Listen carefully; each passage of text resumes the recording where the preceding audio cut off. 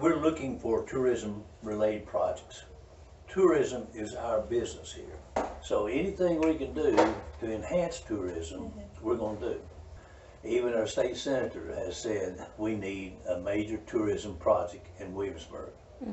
Um, A lot of ideas have been floating around, but the bowling alley is, is a good idea.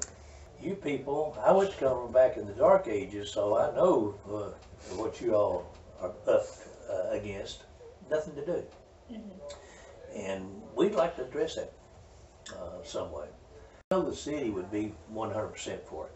And I know the university would. Dr. Cochran has already indicated that he's for anything that's going to enhance the quality of life of you people and also Right. the community. And here you've got, uh, Cumberland's got a bowling team. And I know some of the high schools have got some bowling teams out there. So there's a need here for that. Uh, I see that. Um, But it's gotta be done first class. Uh, something that is really gonna bring the, the people to here. And it, it gives an opportunity for even visitors stopping off and, and, uh, we just need more attractions, let's put it that way.